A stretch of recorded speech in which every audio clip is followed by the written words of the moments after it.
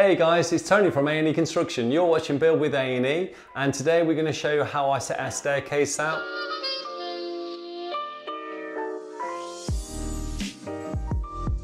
So the first thing I always do guys is I look at the space where the staircase is going to go. So let's go and have a look, shall we?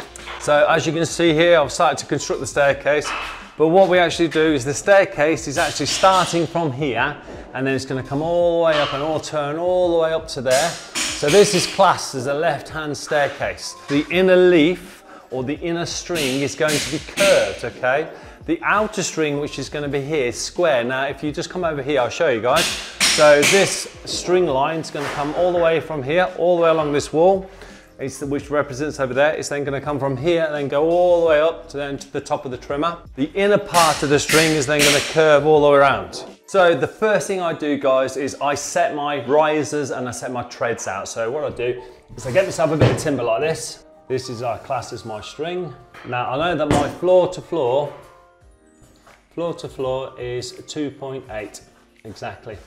Now what I do is I know I've divided 2.8 into 14 rises 2 meters 800, divide that then by 14 equals 200 rise, that's what it is. I then get myself another little block like this.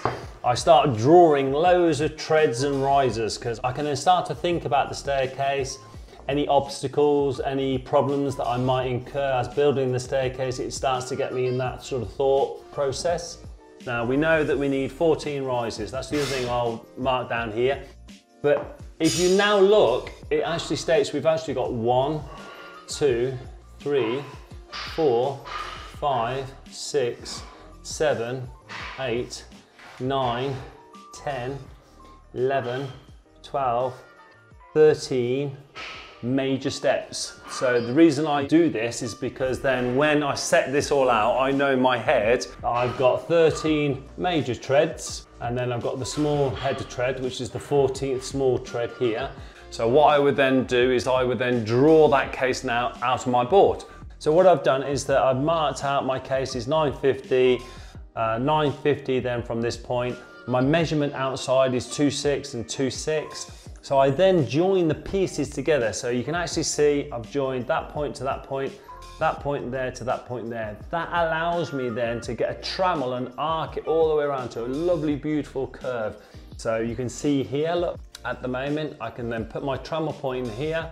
I then go to my 950 point and then I get the trammel and I arc it all the way around to a lovely curve like this, okay? I then go to the center of the 950 because there are regulations that we have to stick to. I go to the center of that and then arc that all the way around as well. The staircase has to be 42 degrees, no more than 42. Now my rise is 200. By the time I've laid it all out, a one-to-one -one scale, I've then got 225 in between from face of riser to face of riser. So it's really important when you're looking at stairs, you're looking at two things they class. It's called a pitch line and also rise and go. So basically I've just drawn that out there. So the pitch line is this line where you have all of the, the points knocking together like this. This would come through. This is then face of riser to then face of riser, okay? And then this is your tread. Now obviously you have a nosing on this like this but it's always from that point there. And my rise is 200 and my go is 225.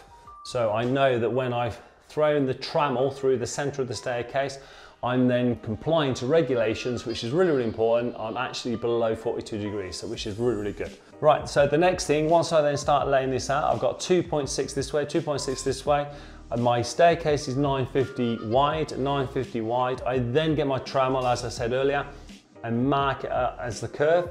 I then do the center of the staircase, mark that out as well. I then divide it up into equal sections, which I've then done.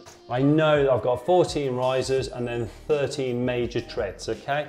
So I literally then on here, I mark out then 13 treads. So one, two, three, four, five, six, seven, eight, nine, 10, 11, 12, 13 equal treads on the inner circumference, which is the inner string. I then mark then 13 equal on the center of the staircase. So literally one, two, as you can count earlier. I then make sure that I've got enough rises, so I then literally count 1, 2, 3, 4, 5, 6, 7, 8, 9, 10, 11, 12, 13, 14 rises. So because I like to draw it out and visualize it, I then know that I can't make mistakes, hopefully anyway. Um, so it is really, really key that I look at everything I can to try and eliminate any mistake, anything that could potentially come up where I think, ah, that's not gonna look right. When I first drew this staircase out, I had it originally straight like this, and then a curve and then straight, and I thought, oh, that sounds nice, but the one thing I didn't want, I didn't want the handrail to come up and then have a slight odd kick here, and then curve around beautifully and a slight little odd kick here. Even though they flowed nicely, I just thought, oh, wouldn't it be really, really nice to have a lovely constant curve? And that's what we've done. We've designed the staircase to have that lovely curve, which will make a really feature in the house because obviously what we want to do is we'll come in three treads and basically have a lovely massive 1930s newel post and we'll do some lovely sweeping treads onto this like this. So really make a big feature of this staircase. Okay, so it's really, really key. One of the things I'm toying with is whether we should actually make this bottom tread actually a bigger bottom tread. So in other words, that if we move this tread all the way around and pull it all the way around past the newel post, and then the second tread in, pull that all the way around past the newel post slightly, and then the third tread actually then go into the newel post, it might make a nicer feature. I mean, just give us your views and comments down below and let's go from there and see what everybody else thinks as well. So what we've been doing here is the staircase here. We can see that from that point there to over to here, to this point here is where the other timber's going to go. This is 950 mil wide because that's how wide we want to make the staircase. We then router all of these bits into the MDF and also the plywood. Now the reason we do this is because we're going to create a cradle. Now you're probably thinking what are all these points representing? Now these points are representing the face of every riser. So in other words what I've done from this point here you can probably see this point here I've arced around so if we literally move out over to here we've got this curve and you can actually see that curve there going all the way around nice curve We've then then gone to then the center of the staircase, which is here. So we then arch all the way around. Now what you then do is, what I do, I then divide all of the, the risers up. Now in this we've got 14 risers, that means we've got 13 treads. So basically I've then gone, you can probably see a very small pinpoint there and a pinpoint there because I use my trammel, which is over here. This trammel device there you go, there it is there. And all I've done is just literally gone from point to point like this, to point, to point, to point. That's what I've done. Now, when I first set this out, I did that all the way around. I sort of worked out this arc would be around about the 165 center. Now, when I actually threw the first divisions all the way through, my trammel actually stops about here. So I had to gain in a mill over this. So I just moved this by a mill and then I then re-threw all of the actual tread lines again and then actually then finished nice and perfect here. And it's the same as you do for this over here. This line here, you just set them all out, running all the way through on the arc. And then all you then do is so you have a nice even tread.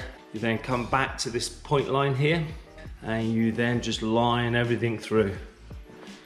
And then you can see I've got more cages going on here, which will then take the string line along this side here and then the string line along here.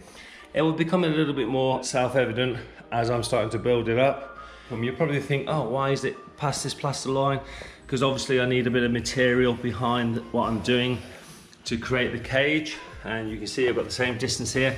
So when the staircase pushes back, it will actually be level with this point here, which is where I want it to be. So you're probably wondering what these holes are here and why I've done them. I have a bit of CLS, 42 CLS, and if you imagine, that goes in the hole like that.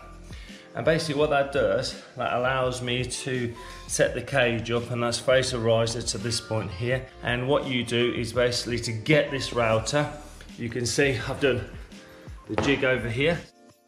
But you can imagine that goes in there like that.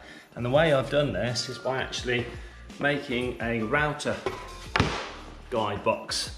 So if you can imagine, this is actually bigger than the CLS.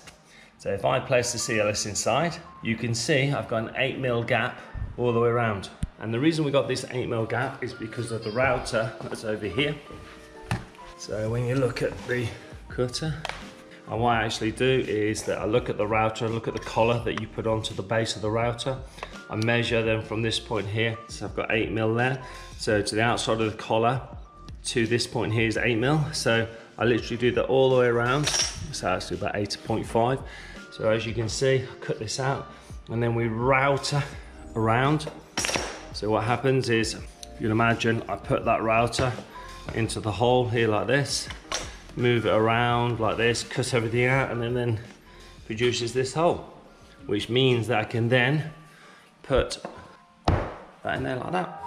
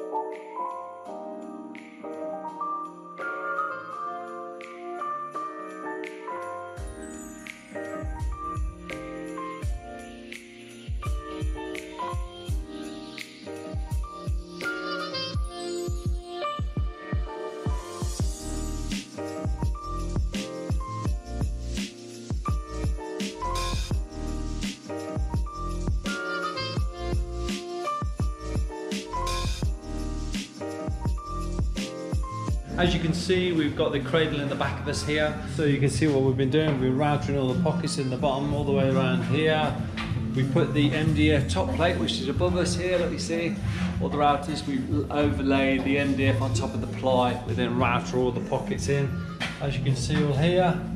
So this is our classes now, we're in our third stage. The first stage is marking out all of this staircase.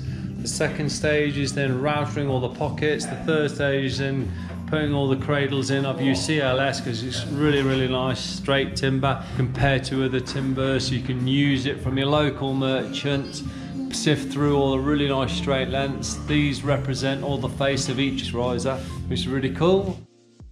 As I was saying earlier guys, what we've got here is this is the bottom of the staircase. Now the reason I've built the cage this way is because I like to be able to fly my strings through on the staircase. Now obviously flying the strings through, I wouldn't be able to do that here because it would hit this point because obviously everything's been worked out so it hits that trimmer up here. So what we've done guys is this is now me setting all of this out to a one-to-one -one scale. So in other words, all of this represents the outside wall where the string's gonna be. It represents the other return 90 degrees where that is as well. Also represents the inner curve of the inner string, okay? Now the thing that you'll probably notice on here, you can see the lines running in. Each of these lines that go all the way back to the other string, they represent the face of the riser. Do you remember me talking about earlier about the face of the riser? And what I do is when I'm routering out my pockets, I make sure the front of the timber is representing the face of the riser. And the same here, the corner point here, because obviously this is 90 degrees. If this was curved as well, this timber would be the other way like this and it'll be on this angle here, but it's not, this is at 90 degrees. So I make sure the corner of the timber and the face of the timber come to my face of my riser. And as you can see over there, and you can see where I've laid it out, I've got then 13 treads all the way around and I know that top point there is where it's gonna hook up onto my trimmers. So that shows you the scale that we have to draw all in detail. You then put it all together. You router into the MDF, you router into the ply, 18 mil ply.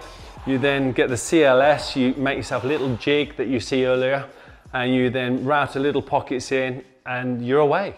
So guys, hopefully you'll understand a little bit about what we're doing here now. If you don't, please put any comments down below. Anything that I can answer, any details, just send them over to me. If you like this video, hit that like button. Also, while you're there, if you can subscribe, that'd be great. And have a great day.